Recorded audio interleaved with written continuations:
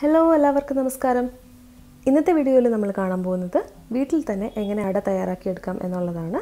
അരി കൊണ്ടുള്ള അടയും മൈദ കൊണ്ടുള്ള അടയുമാണ് ഇന്ന് ഞാൻ നിങ്ങൾക്ക് കാണിച്ചു തരാൻ പോകുന്നത്. വാഴയില ഉപയോഗിക്കാതെ തന്നെ ഞാൻ സ്വന്തമായിട്ട് പരീക്ഷിച്ച് വിജയിച്ച ഒരു മെത്തേഡാണിത്. അതുകൊണ്ടാണ് നിങ്ങളുമായിട്ട് ഷെയർ ചെയ്യാമെന്ന് വിചാരിച്ചത്.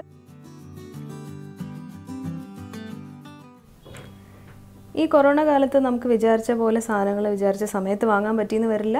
അപ്പോൾ അട വാങ്ങാൻ പറ്റിയില്ലെങ്കിലും സാരമില്ല. ഈ മെത്തേഡിൽ നിങ്ങൾക്ക് ഉണ്ടാക്കിയെടുക്കാം. അരിയട നമ്മൾ പാലട പായസം തയ്യാറാക്കാനും മൈദ കൊണ്ടുള്ള അട തിരുവനന്തപുരം സ്റ്റൈൽ അടപ്രഥമൻ തയ്യാറാക്കാനുമാണ് ഉപയോഗിക്കുന്നത്. അപ്പോൾ നമുക്ക് നോക്കാം എങ്ങനെയാണെന്ന്. ആദ്യം നമുക്ക് അരി കൊണ്ടുള്ള അട തയ്യാറാക്കാം. അതിനായിട്ട് ഞാനിവിടെ അര കപ്പ് അരിപ്പൊടി ഒരു ബൗളിലേക്ക് ഇട്ടിട്ടുണ്ട്. അതിൽ ഒരു നുള്ളു ഉപ്പും അര ടേബിൾ സ്പൂൺ വെളിച്ചെണ്ണയും ഒഴിച്ചു കൊടുത്ത ശേഷം നല്ല ചൂടുള്ള വെള്ളം അതായത് തിളച്ചുകൊണ്ടിരിക്കുന്ന വെള്ളം എന്ന് തന്നെ പറയാം. അതൊഴിച്ച് നന്നായിട്ട് ഇളക്കി കൊടുക്കുക ഇതുപോലെ. ഇടിയപ്പത്തിന് നമ്മൾ മാവ് തയ്യാറാക്കുന്ന രീതിയിൽ തന്നെ മാവൊന്ന് തയ്യാറാക്കിയെടുക്കുക.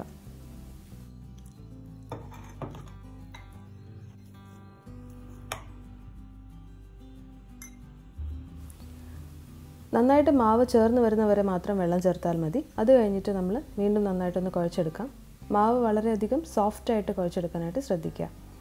ഇനി നമുക്ക് ഒരു സേവനാഴിയിലോട്ട് ഇതുപോലെയുള്ള ഒരു ചില്ലിട്ട് കൊടുക്കാം. ചെറിയ റിബൺ ഷേപ്പിൽ വരാൻ വേണ്ടിയിട്ടാണ് നമ്മൾ ആ ചില്ലിട്ട് കൊടുക്കുന്നത്. എന്നിട്ട് മാവൊന്ന് അതിനകത്തോട്ട് ഇട്ട് കൊടുത്ത ശേഷം നമുക്ക് അടുത്ത സ്റ്റെപ്പിലേക്ക് പോകാം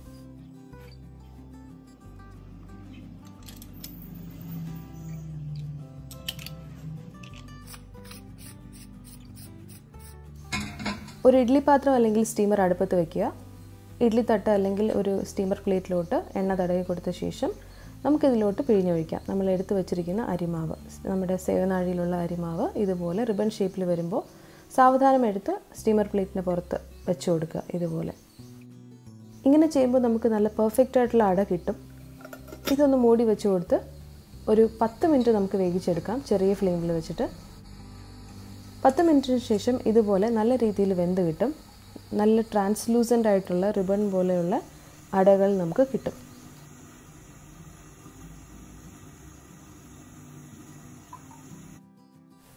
ഇതൊരു പാത്രത്തിലേക്ക് മാറ്റി വെച്ചിട്ട് നമ്മുടെ ബാക്കിയുള്ള മാവും ഇതുപോലെ ആക്കിയെടുക്കാം. നമ്മുടെ അരിയട വെന്തുകൊണ്ടിരിക്കുന്ന സമയത്ത് നമുക്ക് മൈദ കൊണ്ടുള്ള അട തയ്യാറാക്കാനുള്ള കാര്യങ്ങൾ ചെയ്യാം. അതിനായിട്ട് ഞാൻ അരക്കപ്പ് കപ്പ് മൈദ എടുത്തിട്ടുണ്ട്. ഒരു ടീസ്പൂൺ കോൺഫ്ലവറും അര ടേബിൾ സ്പൂൺ വെളിച്ചെണ്ണയും ഒരു നുള്ളു ഉപ്പും ചേർത്ത് സാധാരണ വെള്ളം ചൂടുവെള്ളമല്ല സാധാരണ വെള്ളം ഒഴിച്ച് ചപ്പാത്തി മാവിന് കുഴച്ചെടുക്കുന്നത് പോലെ നന്നായിട്ട് സോഫ്റ്റായിട്ട് കുഴച്ചെടുക്കാം.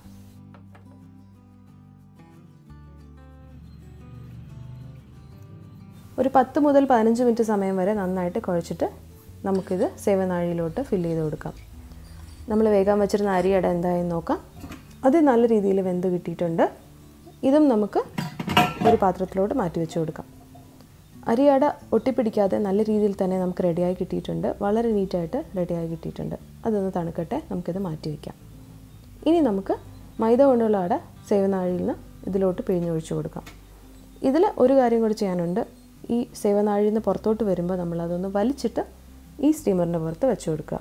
ഇതുപോലെ. സ്ക്രീനിൽ കാണിക്കുന്ന പോലെ നിങ്ങൾ ചെയ്യാം.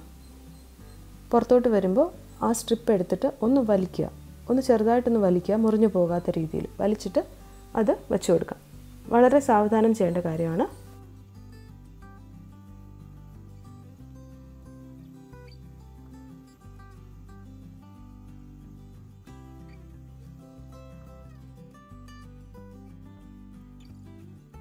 എല്ലാ അടയും വെച്ച് കൊടുത്ത ശേഷം നമുക്ക് മൂടിയിട്ട് കൊടുത്ത് ഒരു പത്ത് മിനിറ്റ് ചെറിയ ഫ്ലെയിമിൽ വേവിച്ചെടുക്കാം. വെന്ത് കഴിയുമ്പോൾ ഇതുപോലെയാണ് ഉണ്ടാവുക. അത് ഇരിക്കും തോറും നന്നായിട്ട് ഡ്രൈ ആയി വന്നുകൊണ്ടിരിക്കും.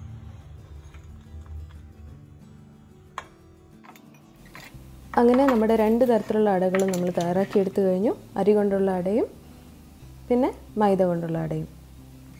വളരെ നല്ല രീതിയിൽ തന്നെ നമുക്കിത് വീട്ടിൽ തയ്യാറാക്കി എടുക്കാൻ സാധിക്കും. ഇൻഗ്രീഡിയൻസ് നിങ്ങൾ കണ്ടല്ലോ. അധികം ഇൻഗ്രീഡിയൻസ് ഒന്നും ആവശ്യമേ ഇല്ല. ഇതാണ് ഞാൻ പുറത്തുനിന്ന് വാങ്ങാറുള്ള അട. എനിക്ക് കഴിഞ്ഞ വർഷത്തെ പാക്കറ്റിൽ നിന്ന് ബാക്കിയുണ്ടായിരുന്നു. ഞാൻ ഫ്രിഡ്ജിൽ സൂക്ഷിച്ചു വെച്ചിരുന്നതായിരുന്നു. ഇത് തിരുവനന്തപുരത്തും കൊല്ലം ഭാഗത്തും ഒക്കെ കിട്ടുന്ന ഒരു തരം അടയാണ്. ഇതിന്റെ ഇൻഗ്രീഡിയൻസ് ലിസ്റ്റിൽ തന്നെ എഴുതിയിട്ടുണ്ട്. ഇത് മൈദയാണെന്നുള്ളത്.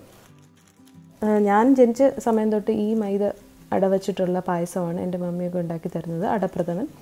അപ്പോൾ ഇത് ഞങ്ങൾക്ക് ശരിക്കും നൊസ്റ്റാൾജിക് ആയിട്ടുള്ളൊരു സംഭവമാണ് ഈ മൈദ അട. എനിക്ക് തോന്നുന്നു തിരുവനന്തപുരം കൊല്ലം ഭാഗങ്ങൾ വിട്ടു കഴിഞ്ഞാൽ മറ്റു സ്ഥലങ്ങളിലെല്ലാം അരിയടയാണെന്ന് തോന്നുന്നു. അപ്പോൾ ഇതാണ് ഇത് ഡ്രൈ ഫോം പാക്കറ്റിൽ കിട്ടുന്നത്. മറ്റേത് നമ്മളിപ്പോൾ തയ്യാറാക്കിയത്. അപ്പോൾ നിങ്ങളത് കാണിച്ചു തരാമെന്ന് വെച്ചു. അപ്പോൾ അതവിടെ ഇരിക്കട്ടെ. നമുക്കിനി ഈ മൈദ അടയും അരി അടയും ഒന്ന് കഷ്ണങ്ങളായിട്ട് മുറിച്ചെടുക്കാം.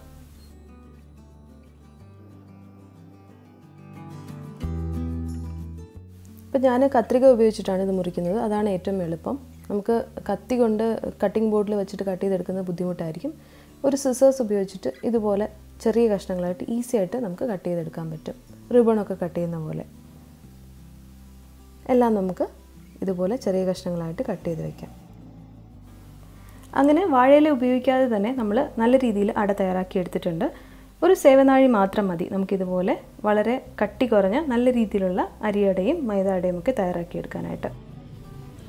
ഇനി വരുന്ന എപ്പിസോഡിൽ ഞാൻ നിങ്ങൾക്ക് കാണിക്കാൻ പോകുന്നത് ഈ അരിയട വെച്ചിട്ട് തയ്യാറാക്കുന്ന പാലട പായസവും പിന്നെ മൈദ കൊണ്ടുള്ള അട വെച്ചിട്ട് തയ്യാറാക്കുന്ന തിരുവനന്തപുരം സ്റ്റൈലിലുള്ള അടപ്രഥമനമാണ് അപ്പോൾ ഈ ഓണത്തിന് നമുക്ക് പായസമൊക്കെ കഴിച്ച് നല്ല രീതിയിൽ ആഘോഷിക്കാം. അപ്പോൾ അതുവരെ അടുത്ത എപ്പിസോഡിൽ കാണുന്നവരെ ബൈ